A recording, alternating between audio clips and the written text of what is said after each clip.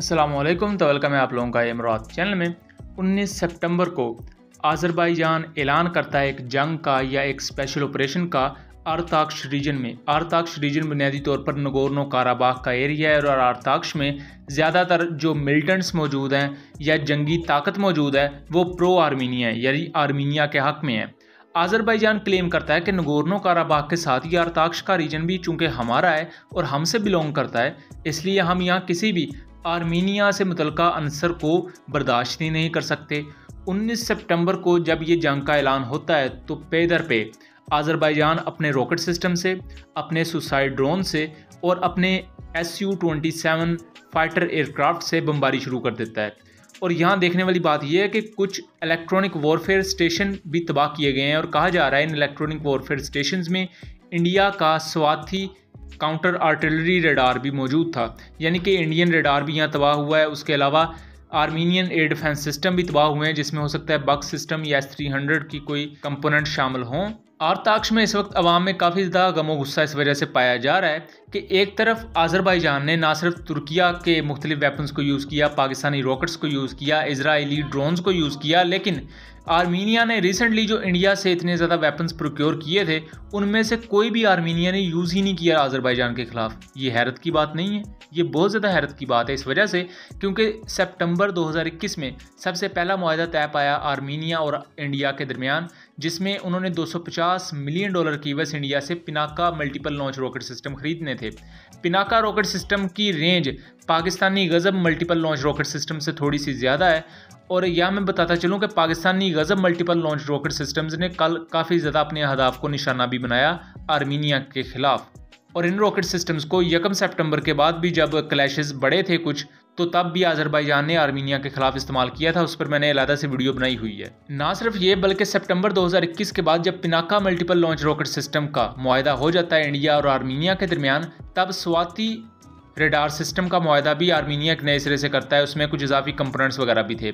फिर इंडिया की जो भारत फोर्ज बनाती है आटग्स टोड आर्टिलरी, इसको भी आर्मीनिया में देखा जाता है। यानी कि ये 155 mm के गोले दागने वाली तोप या आर्टिलरी को भी आर्मीनिया ने इंडिया से ख़रीदा है और उसकी तस्वीर भी आर्मीनिया में देखने में आई थी। लेकिन सबसे बड़ा क्वेश्चन ये है कि आर्मीनिया ने यकम सितंबर के बाद भी जब आज़रबाईजान ने रॉकेट सिस्टम से हमला किया आर्मीनिया पर, जब आर्मीनिया ने सबसे पहले फायरिंग की आज़रबाईजानी बॉर्डर पर, जिसमें एक आज़रबाईजानी सोल्जर अपनी जान गवा बैठा और एक ज़ख्मी हुआ था।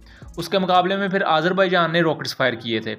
लेकिन इसके मुकाबले में आज़रबाईजान ने ना तो ये इंडियन मेड किसी भी किस्म के वेपन को यूज़ ही नहीं किया।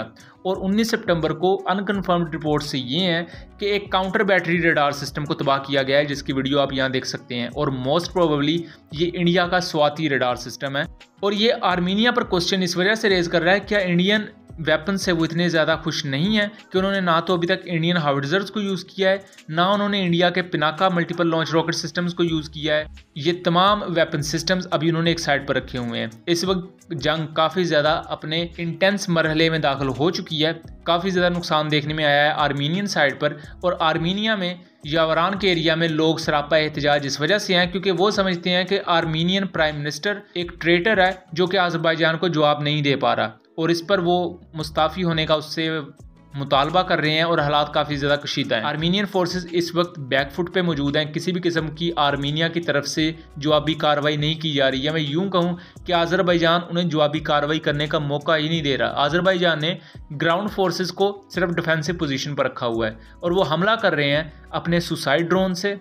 अपने एयरफोर्स से और अपनी रॉकेट सिस्टम से और आर्टिलरी भी एज सच आज़रबाईजान की तरफ़ से देखने में नहीं आई है। बस शुरू में कुछ खबर आई थी कि आर्टिलरी से कुछ फायर किए हैं, लेकिन ये जो मल्टीपल लॉन्च रॉकेट सिस्टम होते हैं, जैसे ये उन्होंने पाकिस्तान से गज़ब मल्टीपल लॉन्च रॉकेट सिस्टम लिए हैं, इसे भी आर्टिलरी की ही कोर में लिया जाता है। तो जब आर्टिलरी स्ट्राइक की बात होती है तो उसमें ये रॉकेट सिस्टम भी आ जाते हैं। दोस्तों, ये डायनामिक्स बताने का मतलब ये है कि आर्मीनिया की साइड पर कुछ ना कुछ तो ऐसा चल रहा है कि वो इंडियन वेपन को यूज़ नहीं कर रहे। अब मैं ये नहीं कह रहा कि इंडियन वेपन कोई नाकाम है और वो यूज़ नहीं किए जा सकते, या हो सकता है कि आर्मीनिया किसी और खौफ की वजह से नहीं यूज़ नहीं कर रहा। क्योंकि आर्मीनिया ने रिसेंटली अमेरिका के साथ कुछ मशकें की थी। उस पर रशिया का भी गुस्सा है। अब आज़रबाईजान ने इनके खिलाफ लफ्ज़ यूज़ किया है कि हम एंटी टेरर ऑपरेशन शुरू कर रहे हैं। यानी कि रशिया ने उसे इजाज़त दी है तो आज़रबाईजान इन्हें टेररिस्ट कह रहा है। और रशिया को भी गुस्सा आर्मीनिया पर इस बात का है कि आपने हमें छोड़कर अमेरिका के साथ दोस्तियाँ बढ़ानी शुरू कर दी हैं। यहाँ दोस्तों मैं बात करता चलूँ कि रशिया ने भी अपने आप को इस कॉन्फ्लिक्ट से अलहदा कर लिया है। इससे पहले रशिया आर्मीनिया की साइड ले लेता था, लेकिन इस वक्त रशिया ने भी अपने आप को आर्मीनिया से अलहदा कर लिया है और अमेरिका भी ऐसा सच आर्मीनिया की मदद को नहीं आ रहा और जो वेपन्स इंडिया से लिए थे, उसमें से एक स्वाति रडार सिस्टम की तबाही के बारे में अनकन्फर्म्ड रिपोर्ट्स मौजूद हैं और दूसरी तरफ़ ना तो पिनाका सिस्टम्स कहीं ऑन ग्राउंड नज़र आ रहे हैं और ना ही भारत की अटक्स आर्टिलरी आपको यहाँ कहीं नज़र आएगी, जो कि कंसर्न की बात है। इस पर आर्मीनियन गवर्नमेंट ही बेहतर जवाब दे सकती है या आर्मीनियन मिलिट्री के ज़राए।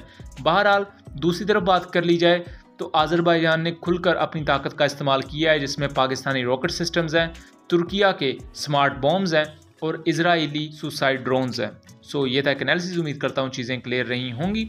वीडियो दिलचस्प लगी हो तो इसे ज़रूर ज़्यादा से ज़्यादा शेयर कीजिएगा एंड चैनल को सब्सक्राइब कीजिएगा। मिलेंगे अगली वीडियो में, तब तक के लिए अल्लाह हाफिज़।